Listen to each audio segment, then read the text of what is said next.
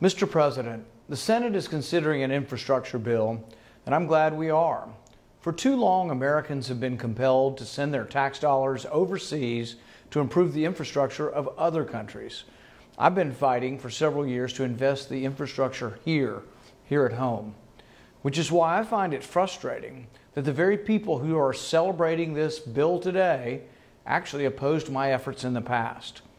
We have a short memory here in the Senate.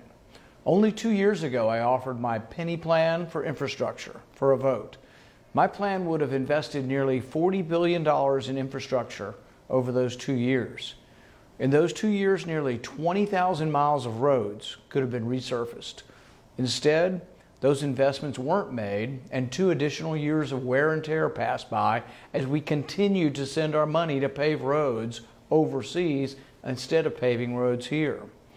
The parade of senators who are now coming to the floor and expounding upon the urgency of this package nothing less than shocking, particularly when those were the same senators who voted against 20,000 miles of resurfaced roads only a short time ago.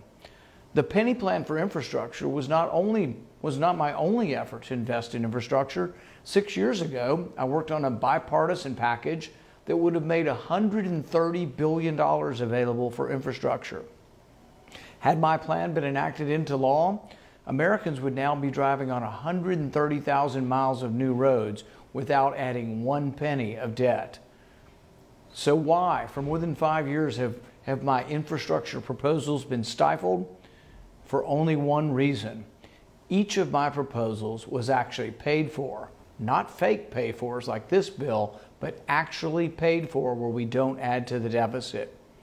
Now, if there's only one thing that Congress always seems to agree on, though, that's never to pay for anything. So as you see the spending blitz going on, the spending frenzy, you're going to see mountains of debt, trillions of dollars of debt. It's not the way we ought to be doing this. We should be paying for this bill and doing it by cutting waste and excessive spending from other parts of the budget. Proponents of this bill claim that it's paid for. They use gimmicks, budgetary gimmicks. They hope they'll erect enough smoke and mirrors to obscure this enormous price tag. But this $1.2 trillion bill is not paid for. And perhaps the most alarming part of the cost is the authors of this bill know that it's not paid for. We know that because they actually wrote into the bill so as to exempt it from the rules that require the bill to be paid for. You see, Congress back in 2010 mandated that new spending had to be paid for. That law is called statutory pay-go or pay as you go. And if Congress can't help itself and refuses to offset the cost of new spending, pay-go is enforced by an automatic cut to spending across the board. But Congress rarely adheres to its own rules. Instead, Congress waived pay-go more than 60 times over the past decade and added over 10 trillion to our debt. This time is no different.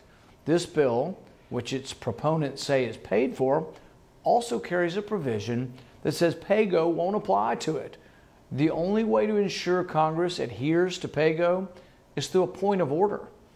That's what I'm putting forward. In this bill, if it were actually paid for, then you shouldn't have trouble supporting this point of order. But if senators vote to waive the point of order, if they vote to exempt Congress from its own rules, requiring that we be good stewards of taxpayer dollars, then these senators should tell, quit, you know, they need to stop telling people something that they know is not true. The truth is, this infrastructure bill is not paid for. And every American should ask a simple question why won't Congress obey even their own rules?